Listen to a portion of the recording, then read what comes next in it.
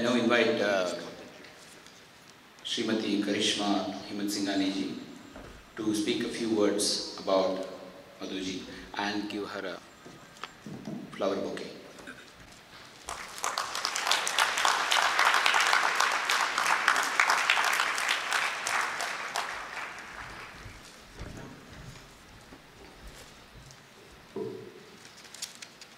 Namaste.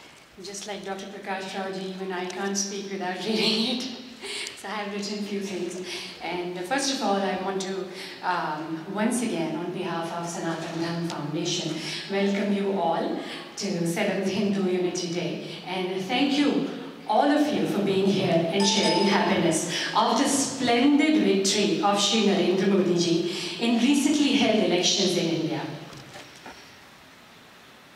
This uh, particular election of India, parliamentary election of India recently held, was unprecedented. Very beautiful word in Hindi is abhutpurva election. Not only because of the result, but also because of the extraordinary campaign that uh, Modi ji and his supporters ran against another extraordinary campaign of uh, distortion, uh, denigration, and disinformation that has been uh, carried on for over 12 years, as you all know. By God's grace, uh, Modi ji's uh, found some great support. Uh, I would call uh, them who are champions of the victory, who just for the want of truth and justice worked hard to research and collected facts based on that research and presented it in front of people, courts, and otherwise biased and hostile media.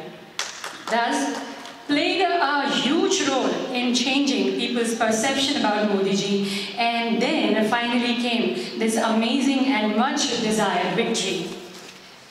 Today, it is our honor and privilege to have one such champion, or I can say the leader of such champions with us, who has come all the way from India to share the journey during her quest uh, of this whole journey with us.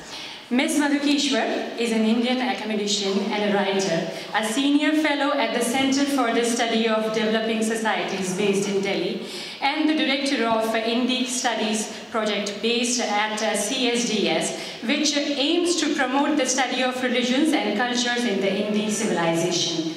Ms. Kishwar studied at Miranda House where she was the president of Students' Union and then studied history at Jawaharlal Nehru University in Delhi. Madhuji founded the Manushi in 1978 with the aim of finding effective solutions for the economic, politic, political and social problems confronting India. Today, through patient study, a non-partisan approach, live live interaction with people concerned and culturally sensitive, informed activism. For more than 30 years now, Manushi has been at the forefront of many struggles from the rights of marginalized and vulnerable groups with special focus on women, minorities, and self-employed poor. One of such campaigns was Quest for Truth behind Godhra riots in 2002 and setting the record straight of media, which was running a campaign by twisting truth and distorting and suppressing facts. Then Madhuji came up with Modi Nama in 2013, in which she was critical of the media for what she called their false propaganda about Narendra Modi's role during the Gujarat violence 2002 and its aftermath. April 2014, Madhuji launched her latest book, taking forward her research on the same subject, book called Modi, Muslims and Media. Sanatan Dharm Foundation today is honored to have Madhu Kishwar here and launching her latest book here in Dallas Fort Worth. Moreover, honoring her for quest for truth on her personal capacity, not uh, being part of any association or party or group, stood her ground as a brave soldier against hostile media and different groups, only for the truth to prevail, which will have a huge impact on our future of India. I will now invite Ms. Madhu Kishwar on stage and share her journey to Quest with all of us.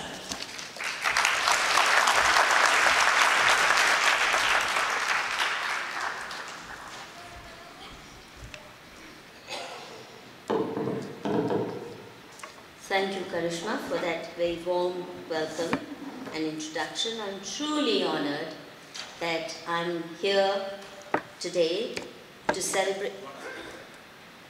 I'm fine here. Yeah, mm, am I visible? Well, I guess my voice matters more. So, is that okay? Or is it bad for your cameras? You want me to stand like this? Yeah. Ah, okay. You can see how Yeah. I You want a am. wireless? Want a wireless? No, I'm fine. I'm up to you. It's up to you. I- I'm fine. Okay. Standing here. Okay. Namaskar, all of you, and thank you for giving me such a warm welcome. It is indeed for me also a big honor that across thousands of miles here, you've invited me to celebrate this great occasion. Uh, it's the beginning of a new epoch, if you ask me. It isn't just transfer of power from the Congress party to the BJP. But I think, just as many of you have already expressed such opinions, that it is indeed the beginning of a new epoch of Indian history, and I sincerely hope we're not disappointed. I sincerely hope that this time round our expectations are not belied.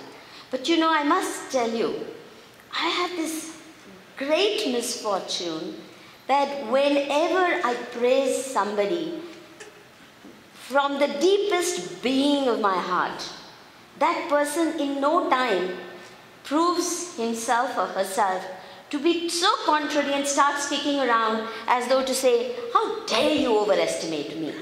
Um, there's hardly anybody who's been able to stomach the, the good words I have said. And I don't learn, I don't learn to be stingy with my praise because I feel for me to feel good about this life and society, I must constantly out good people, good doers, and celebrate them. Or else my own life will be very impoverished, especially since I'm also a very tough critic of myself as well as of others.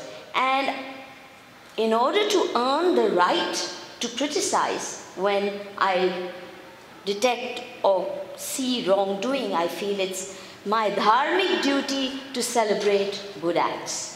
Um, but thus far, I've always been belied and I get proven wrong.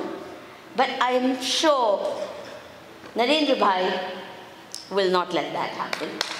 I'm sure he will live up to the best and more of our expectations because if anybody can, he can. And that's why I'm taking this big risk, or have already taken this big risk again. Now, before I describe to you my own quest, my own journey, I'd like to give you a brief background of who I am. Some of you already know. You know, convent school education, Miranda House, JNU. I did all the things that the leftists and the liberals do. At age 16, I was introduced to Marxism and had my brief fling with Marxism, left politics, and uh, all the rest of it. But luckily for me, uh, as student of history at JNU, Mahatma Gandhi came early into my life.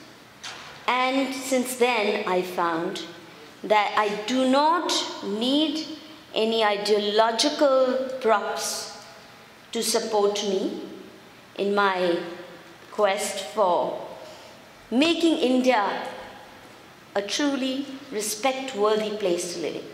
I don't deny and don't hide